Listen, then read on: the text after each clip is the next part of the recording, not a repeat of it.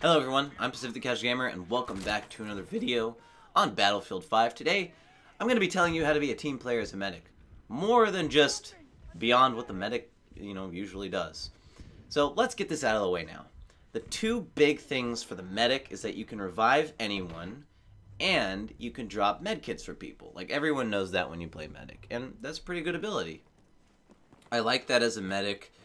Um, you always have that syringe and you can always revive anyone. I think that's a really good addition. And it makes it so that you see as someone's a medic, but you don't have to guess, okay, are they carrying, well, I call it the heroin syringe, are they carrying the heroin syringe? Or are they not? You know, that was a thing in Battlefield 1. And I do like that you can't just go around and just like stab, stab, stab, stab, stab, and revive everyone. You, know, you actually have to kind of go through the animation. So, as a medic, there is one more set of tools available to you that are really good.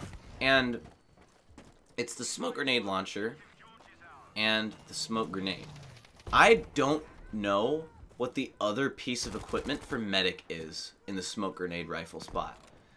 I know that it is something that I don't use because I just love the smoke grenade rifle. So there's the typical use of a smoke grenade where you're medic, someone's dead, you need some cover, you smoke it out, you revive them.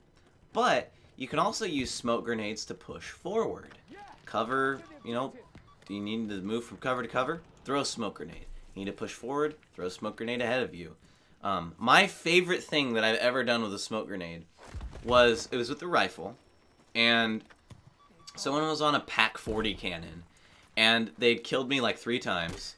I was pissed. I was trying to kill them, and I launched a smoke grenade super far. And one landed behind him, and he didn't know what I was doing. And then I launched the second one, and it landed in front of him, so he couldn't use the PaK 40. And then, actually, I, I think I have that clip recorded. I got on the PaK 40 and shot down two planes. The first two planes I'd shot down in the cannon. It was like back to back, and then I missed a third one. And so, that is the power of the smoke grenade as a medic. I love it. The smoke grenade is, oh, it's so good in this game. It, it's ridiculously good. And then you have the SMG. Now the SMG, it's an okay weapon class. I like them now. I didn't like them before until I really, really, really started using the medic. Now I really like them.